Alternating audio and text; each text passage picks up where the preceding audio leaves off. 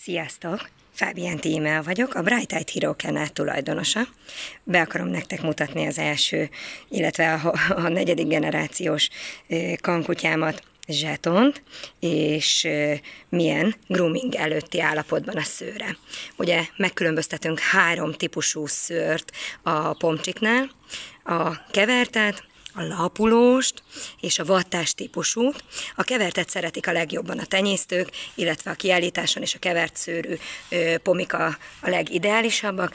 Azt jelenti, hogy van egy egy ajszőr, ő most már vedlés közben, illetve majdnem a végén van már, tehát nem olyan nagyon-nagyon-nagyon sok a szőre, nincs még meggroomingolva, nincs megnyírva, teljesen, teljesen natúr állapotban van, nagyon alapos fürdetésen esett át és fésülésem, amikor is a rengeteg ajszőrt, ami el van halva, kivettük neki a bőréből, hogy tudjon szellőzni.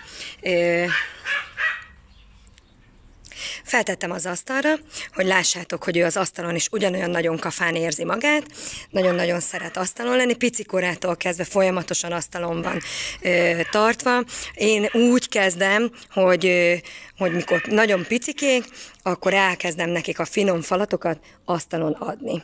Mm, természetesen azért már picikoruktól kezdve elkezdem őket jutalmazni az asztalon, meg hát ott, ott nálunk az asztalon vannak fürdetve, fésülve, mindent, mindent az asztalon csináljunk, hogy ne utálják annyira nagyon meg, amennyire, amennyire csak lehetséges.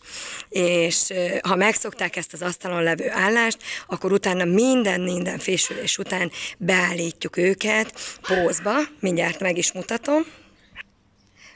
Megvannak a, a pózok, ugye ő nincs megnyírva, ő teljesen hosszú szőrben van, illetve most már átfésült szőrben. Nagyon-nagyon-nagyon ügyelünk rá, hogy zseton, erre nézzél, zseton, zsetka, inni. Nagyon-nagyon-nagyon-nagyon-nagyon szépnek látom, és majd jövök vissza grooming után, megmutatom, hogy hogy néz ki, mikor meg van groomingolva.